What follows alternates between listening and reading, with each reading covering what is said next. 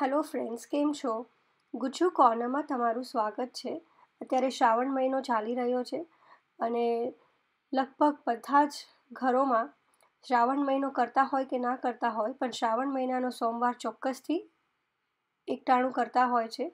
તો આજે શ્રાવણ મહિનાના સોમવાર માટેની એક સ્પેશિયલ રેસીપી લઈને હું આવી છું. જે છે ફરાળી ખીચું, જે ફક્ત પાંચ જ મિનિટના અંદર બનીને તૈયાર થઈ જાય છે.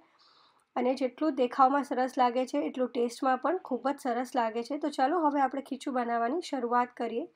તો તેના માટે એક પેનના અંદર મેં નોનસ્ટિક પેન લીધું છે, તેના અંદર દોઢ કપ પાણી નાખ્યું છે મેં, તેના અંદર પાંચ ચમચી આપણે આખું જીરું ઉમેરવાનું છે. ત્યારબાદ જે ઉપવાસનું મીઠું આવે તે સ્વાદ અનુસાર આપણે મીઠું નાખીશું. એક ઝીણું સમારેલું લીલું મરચું નાખવાનું છે.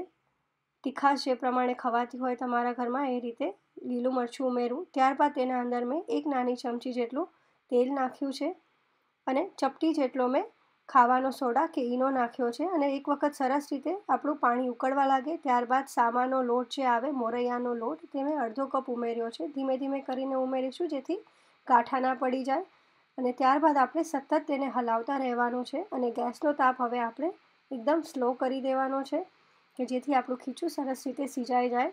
ત્યારબાદ તેને ઢાંકીને પાંચથી સાત મિનિટ સુધી આપણે સરસ રીતે સિજાવા દેવાનું છે અને વચ્ચે વચ્ચે આપણે હલાવતા રહીશું, જેથી ખીચું ચોંટી ના જાય. તમે જોઈ શકો છો કે આપણું ખીચું એકદમ ગાઢું થઈ ગયું છે અને પેનને છોડી રહ્યું છે. તો એનો મતલબ છે કે આપણું ખીચું બનીને તૈયાર છે. તો ખીચાને મેં વાટકીના અંદર લઈ લીધું છે. તેના ઉપર આપણે થોડું તેલ નાખીશું અને થોડું લાલ મરચું પાવડર ભભરાવીશું. તો પાંચ જ મિનિટમાં બની જતું ઉપવાસમાં ખવાય નાના મોટા સૌને ભાવે એવું ફરાળી ખીચું બનીને તૈયાર થઈ ગયું છે.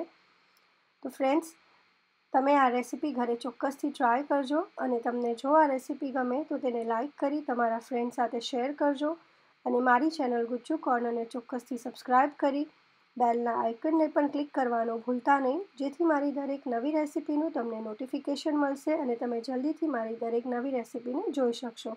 તો ચાલો હવે આપણે મળીએ નેક્સ્ટ રેસીપીમાં ત્યાં સુધી આવજો.